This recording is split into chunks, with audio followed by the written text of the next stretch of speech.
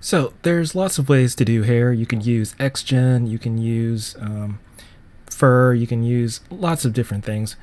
This tutorial is just going to be a really quick way to do fast, simple, lazy, polygonal hair that actually looks fairly reasonable. Um, the first step is to actually use a tool that's meant for creating anime avatars. It's called Vroid Studio.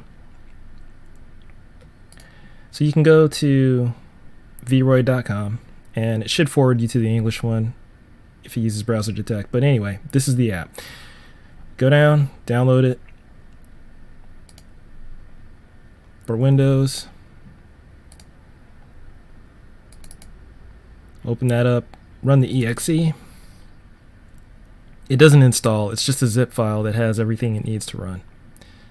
Blow this up for you. So it comes with a bunch of avatars. We're not going to use any of that. We'll just create a new avatar, male or female, doesn't matter.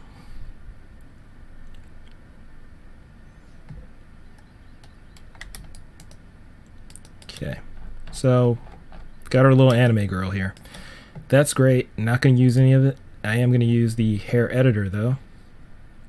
Over here on the left, it's kind of like your Photoshop layers. You are creating groups and within those groups you are drawing locks or strands of hair. It sounds kind of weird and complicated, but it's really simple. So all you're doing is creating, I mean, you can do procedural, we'll, we'll get into that later.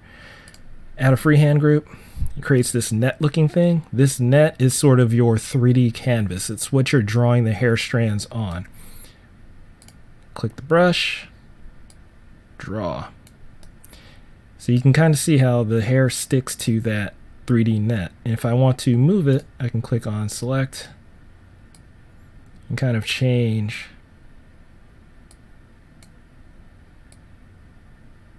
the surface that that hair is sitting on. And that's all this is right now. That's that's all you really need to do. Over here on the right, there's different options for the hair. We don't care anything about texture. We do care about this.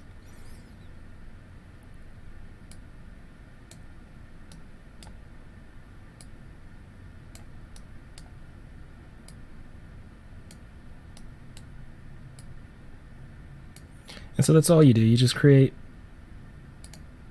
all the hair that you need, fill it out, and if you need to layer it, you can create another group and adjust how that sits.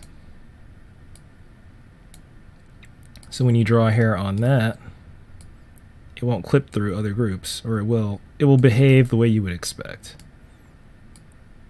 You'll draw under or over, and that's how you kind of fill it out closer to the head. Um, so you just repeat this a couple times. If you don't want to, and I recommend not doing the entire head by hand, just do half, clone it, flip it.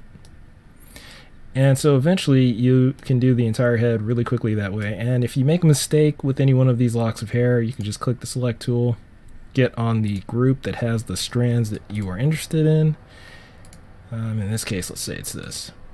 Click the lock of hair that you don't like and manipulate the control points to get it nice. Like, let's say I didn't like how that one's sitting. Well, I can move it all. And it's all spline based.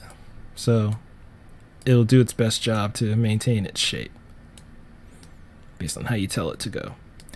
If I started the stroke in the wrong place, for example, let's say that's not where the root of her hair is, then I can just do this.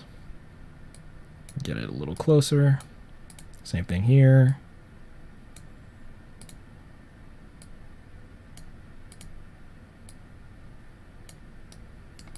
You get the idea. So let's say that I've done the entire thing. I'm really happy with it. She's not actually bald. How do I get this out and into Maya? Well, you click on Camera Exporter and it has a lot of stuff. It's meant for exporting the entire thing, but you can actually just export the hair itself. Go to the export option on the left here, and there's a button just for hair. That's what we want. So we're gonna drop this somewhere easy to find. We'll say goes to temp. We'll call it chin bob hair. Uh, I've already exported a better version of this out. So let's say I overwrote that file. And then that's it. You're done with Vroid Studio.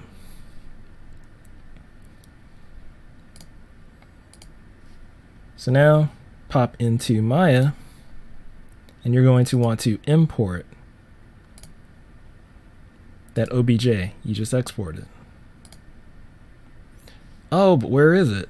Well, Vroid uses a different scale than I'm using in Maya. Um, it's using a different axis as well. This may or may not be the case for you. I like to work with Z up, so and Vroid uses Y up. Most people use Y up. Um, it's so that may not be an issue, but the scale is most likely going to be a problem. So you'll hit import and you'll be like, well, where is it? It's actually there.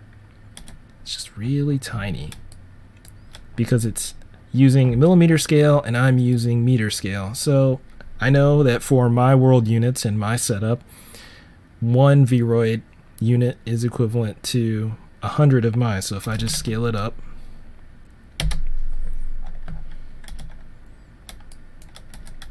there it is. It's in the right spot. But because the axis is different, it's using Y up, I'm using Z up, I also need to rotate it. Now it's roughly in the right spot, but still doesn't look quite right for what I need. Let's center that pivot.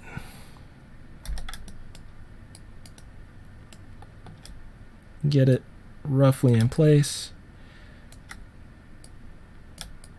Okay, now it was designed for an anime girl head, so obviously it doesn't fit realistic proportions too well.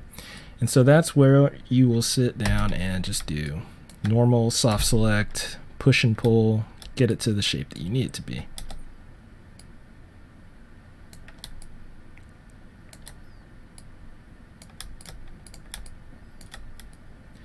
Okay, and so eventually you'll get something kind of like this, where it roughly fits, pretty good, looks reasonable-ish, but now the normals are all wrong. You got hard creases in between each lock of hair. And you might think, okay, well, that's pretty easy. I can just go to mesh display, I can soften all the edges. But then you get this issue.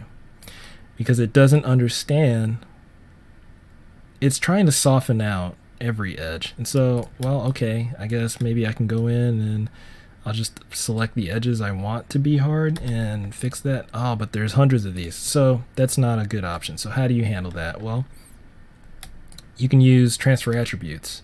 It's a tool in Maya that does a couple things. Um, but in this case, the most useful feature of it is that it can transfer the surface normals from one object to the other via projection.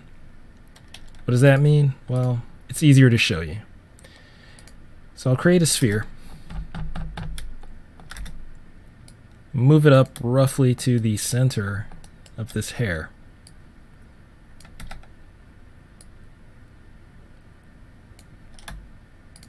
And I'll move both of these so that it's easier to see what I'm talking about.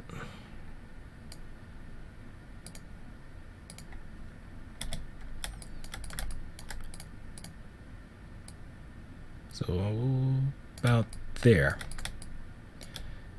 Yep. Let's come back a little. Okay. It's important that it be roughly centered because this is, it needs to project out radially to the rest of the hair in a, in a fairly accurate way. So I'll click the sphere, click the hair, and this is under your mesh. Transfer attributes, we'll open the option box. We don't want the vertex position, we do want the normal. We don't care about these, so we'll turn those off. Sample space set to world. That is where this is and where this is physically should represent how it's going to calculate the transfer.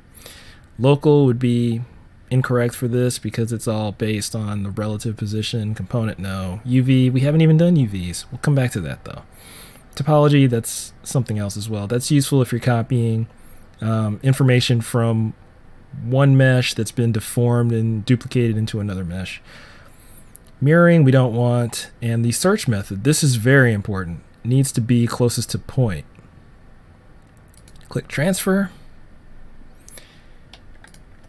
And now the normals for the hair make sense from every angle. And you might think, okay, well, great, I'm done. I can just delete this sphere, but watch what happens. What happened? We've lost the information. Undo that. You see here, transfer attributes node in the history. It needs that. It needs this information so long as that node exists. So before we delete the sphere, we want to delete by type, history, and now I can delete this extraneous sphere and keep all of that information. And we'll move it back.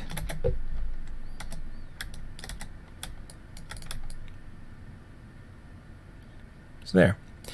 Now the nice thing about using Vroid is that not only do I get clean, quadrangulated topology straight out of the box, I also get aligned UVs. These are axis aligned. It goes base to tip on the y-axis of the UVs. They're overlapping, but of course, if that is an issue for whatever you're doing, you can always grab the shells and move them.